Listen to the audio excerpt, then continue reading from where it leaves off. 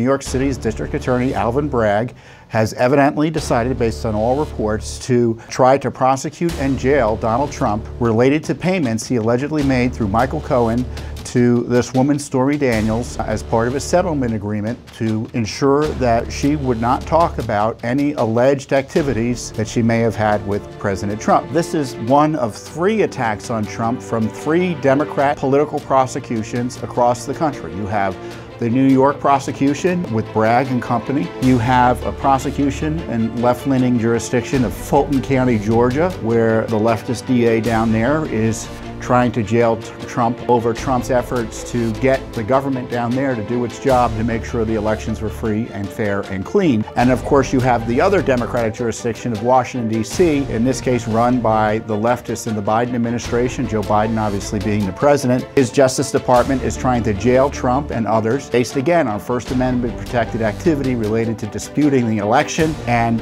this absurd analysis or application of the law related to presidential records that seeks to jail Trump on a dispute related to presidential records. So you have three different leftist jurisdictions run by Democratic politicians all trying to jail Trump. Don't let the media tell you, oh, there's much more serious stuff in DC and in Georgia. No, it's all abusive, it's all political, it's all unprecedented, it's all pretextual, it's all designed to make him a political prisoner in a way that could upend our system of government. And we're supposed to pretend that's normal. That's just the rule of law, and it has nothing to do with the rule of law. It's something that, if it's allowed to continue, will significantly undermine the rule of law, undermine confidence in the fair administration of justice, undermine our Republican form of government, and make a mockery of the United States across the world. And I know the United States isn't perfect. I know there have been political prosecutions in the past, but no president has been uh, subject to this type of politicized, abusive targeting like President Trump. Not only do the Democrats want to make Trump a political prisoner, uh, but they want to censor and abuse and suppress civil rights of all of his supporters. So in the end, it's not